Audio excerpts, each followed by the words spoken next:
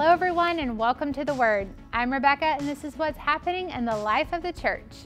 If you are new to Wesley, welcome. We're excited you're here, and we want to answer any questions you might have. A perfect place to get those questions answered is at our new member class. It's this afternoon from 4 to 6 p.m., and also next Sunday, October 7th from 4 to 6 p.m. Contact Pastor Megan at the church office to RSVP or to learn more about becoming a member at Wesley. This month's mission offering goes to the Festival of Sharing. You can place monetary donations in the wooden boxes in the sanctuary and gym or drop off dental hygiene products in the gathering area.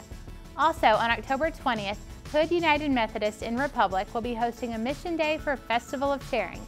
It's from 9 a.m. to 3 p.m. and will organize donations and pack food bags. All ages are encouraged to attend. There's a job for everyone. Contact the church office for more information. Wesley Church is proud to support one of our local schools, York Elementary. Currently, volunteers are needed for their literacy program to help students focus on word recognition and reading skills. Volunteers are also needed to pack literacy backpacks for students in kindergarten and first grade. If you are interested in helping two hours a week, connect with us on the tear off portion of your bulletin. Wesley also supports the York Sense of Pride store.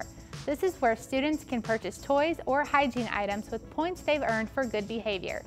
We're collecting gently used toys, basketballs, soccer balls, or monster trucks for the boys. Hair accessories, dolls, and art supplies are great ideas for the girls. Monetary donations are always welcome.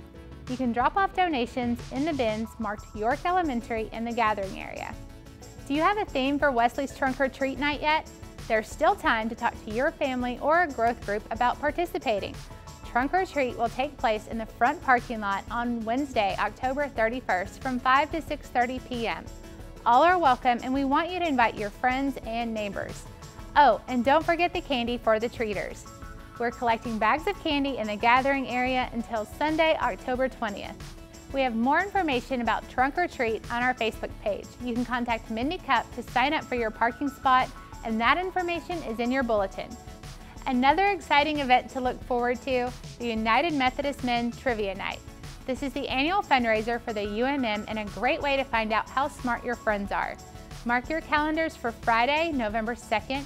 Gather a team of eight, preferably intelligent friends, and plan on having a great time losing to Pastor Megan and her husband. Okay, that's it for today. Follow us on Facebook, Twitter, and Instagram Check us out at wesleymethodist.com. And from all of us at Wesley, have a great week.